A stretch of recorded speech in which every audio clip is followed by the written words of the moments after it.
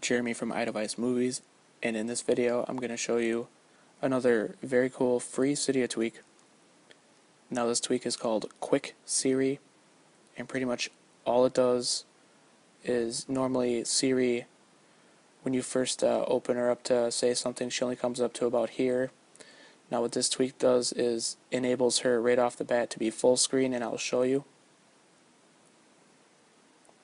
So there you go, and it's just uh, it's just another unique, cool tweak that uh, you know.